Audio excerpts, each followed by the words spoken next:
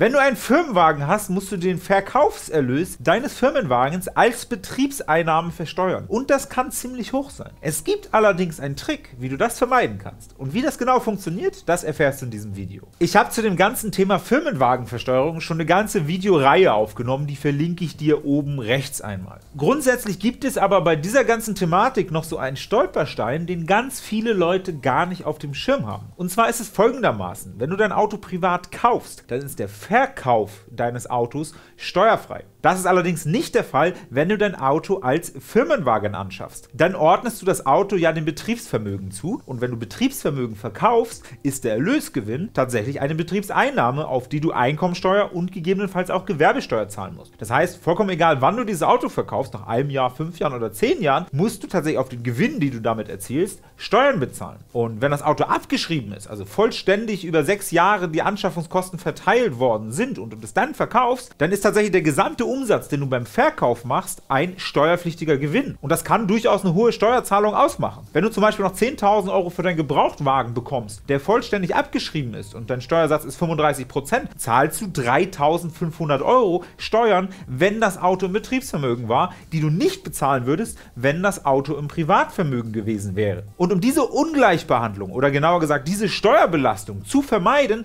gibt es einen Workaround, den du anwenden kannst. Und den schauen wir uns jetzt mal im Detail an. Und zwar wäre es denkbar, dass der Ehepartner das Auto kauft und mit dem anderen Ehepartner einen Leasingvertrag abschließt. Das heißt, beispielsweise meine Frau kauft das Auto, was ich gerne als Firmenfahrzeug nutzen würde. Das heißt, meine Frau kauft dieses Auto und schließt mit mir im Rahmen meiner Selbstständigkeit einen Leasingvertrag ab beispielsweise 36 Monate. Und ich kaufe das Auto gar nicht selbst, sondern es gehört jetzt wirtschaftlich meiner Frau. Aber ich schließe einen Leasingvertrag ab und ich habe dann einfach monatliche Leasingraten, die ich an meine Frau überweise. So habe ich bei mir in der Buchhaltung die ganz normalen Kfz-Kosten, wie ich sie auch hätte, wenn ich das Auto irgendwo anders leasen würde. Und meine Frau hat das Auto im Privatvermögen. Das heißt, beim Verkauf des Autos aus dem Privatsvermögen von meiner Frau ist das dann ein privates Veräußerungsgeschäft und das ist dann steuerfrei. Und so kann man das Ganze umgehen, dass du einen Firmenwagen hast, das Ganze aber trotzdem nicht in das Betriebsvermögen aufgenommen werden muss und dann beim Verkauf nicht versteuert werden muss. Wichtig ist hier natürlich, dass die Verträge genauso abgeschlossen werden, wie du sie auch mit einem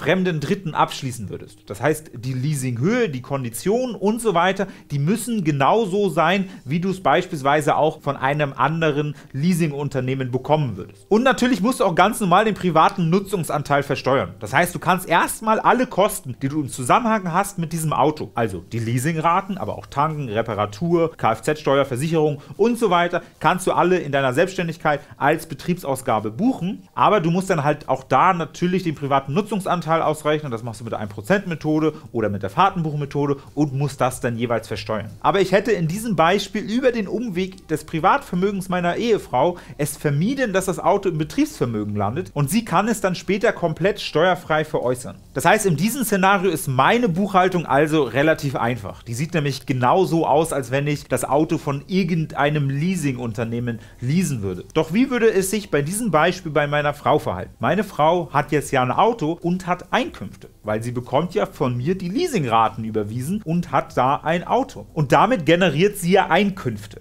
Genauer gesagt, sonstige Einkünfte nach 22 Einkommensteuergesetz. Und die sind tatsächlich sogar komplett steuerfrei, wenn sie unter 256 Euro pro Jahr liegen. Das heißt, bis zu 256 Euro im Jahr kann sie damit sogar Gewinn machen und dann bleibt das Ganze steuerfrei. Wenn das Ganze denn darüber hinausgeht, muss sie tatsächlich auch Steuern bezahlen. Allerdings sind das nicht nur die Leasingraten, die du berücksichtigen musst, weil meine Frau hat ja in ihrem Privatvermögen das Auto angeschafft und kann es da auch abschreiben. Machen wir da vielleicht einfach mal ein ganz simples Beispiel. Wenn meine Frau für 60.000 Euro ein Auto anschafft und mir das quasi weiter verliest, dann kann sie diese 60.000 Euro ja abschreiben. Und zwar über sechs Jahre. Das heißt, sie kann 10.000 Euro pro Jahr als Abschreibung geltend machen. Und wenn sie jetzt 10.000 Euro pro Jahr von mir auch als Leasingraten bekommen würde, dann macht sie eine einfache Rechnung und zwar 10.000 Euro Leasingkosten minus 10.000 Euro Abschreibung sind kein Gewinn. Das heißt, sie muss laufend gar keine Steuern bezahlen. Und wie ich schon erwähnt habe, ist auch im Fall des Verkaufs des Autos keine Steuer fällig, denn ein Auto gilt als sogenannter Gegenstand des täglichen Gebrauchs nach 23 Absatz 1 Nummer 2 Einkommensteuergesetz. Und es kommt tatsächlich noch besser, denn du kannst grundsätzlich das Einkommensteuergesetz und das Umsatzsteuergesetz immer getrennt voneinander betrachten. Nur weil es im Einkommensteuergesetz kein Betrieb ist und kein Betriebsvermögen ist, was meine Frau da hat, kann sie trotzdem freiwillig die Umsatzbesteuerung wählen. Das heißt, sie kann sich bewusst dazu entscheiden, Umsatzsteuererklärung abzugeben und quasi umsatzsteuerpflichtig zu werden. Warum ist das Ganze eigentlich so spannend? Naja,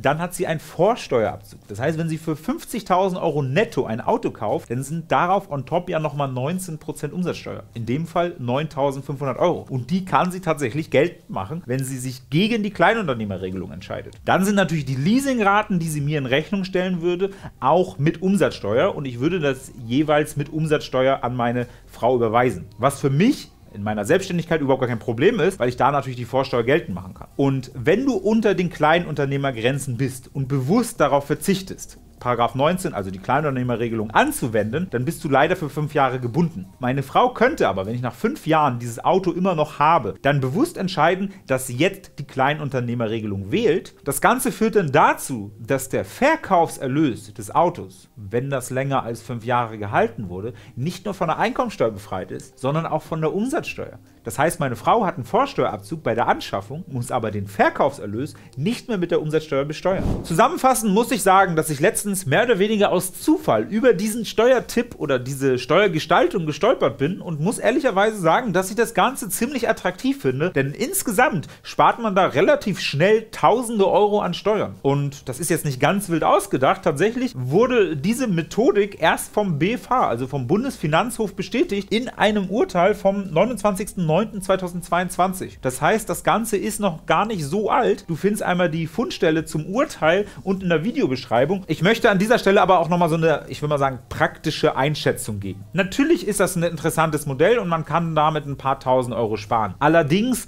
hat man dadurch schon mehr Aufwand. Der eine Ehepartner muss das Auto kaufen, muss einen Vertrag abschließen. Das heißt, man muss erstmal diesen Vertrag haben, der ja auch so ist, wie man ihn woanders abschließen könnte. Das heißt, der muss wie mit einem fremden Dritten abgeschlossen werden. Und der Ehepartner, der das Auto besitzt, der muss ja auch eine Art Gewinnermittlung machen. Das heißt, da müssen dann die Leasingraten mit der Abschreibung miteinander verrechnet werden. Und man darf auch nicht vergessen, dass der Ehepartner, der jetzt Leasinggeber ist, natürlich jetzt auch erstmal umsatzsteuerpflichtig ist und Umsatzsteuervoranmeldungen oder eine Umsatzsteuererklärung abgeben muss. Das heißt, das sollte man auf jeden Fall, wenn man diese ganze Möglichkeit betrachtet, nicht außer Acht lassen. Und ich muss ganz ehrlicherweise sagen, ich finde zumindest finanziell klingt das Ganze gar nicht unattraktiv und wenn dich die Arbeit nicht abschreckt, ist das vielleicht auch ein Modell, was für dich interessant ist. Ich hoffe, mit diesem Video hast du etwas gelernt und vielleicht ist, ja, ich will mal sagen, dieses Workaround auch ganz interessant für dich. Wenn du dazu noch Fragen hast, dann schreib uns gerne einen Kommentar unter diesem Video und wenn du selbstständig bist, dann haben wir ein tolles Angebot für dich. Alle Informationen dazu und wie wir dir weiterhelfen können in deiner Selbstständigkeit, das erfährst du, wenn du einmal hier klickst. Oder ein anderes Angebot sind unsere weiteren Videos auf diesem Kanal, zum Beispiel dieses hier oder dieses hier.